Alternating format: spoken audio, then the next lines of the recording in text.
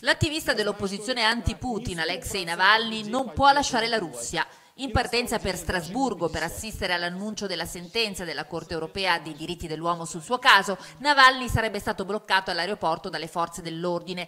Non ci sono conferme ufficiali sul divieto di abbandonare la Russia, solo le parole dello stesso militante pubblicate sul suo account Instagram.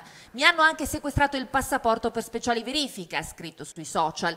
41 anni, avvocato, Alexei Navalny guida la Fondazione Anticorruzione che sta aggregando il consenso di molti cittadini, in particolare giovani, che contestano la legittimità della classe dirigente del paese. Dalla Corte europea è atteso il verdetto che dovrà definire se gli arresti dell'oppositore di Putin, avvenuti nel 2012 e 2014, siano stati mossi da motivazioni politiche.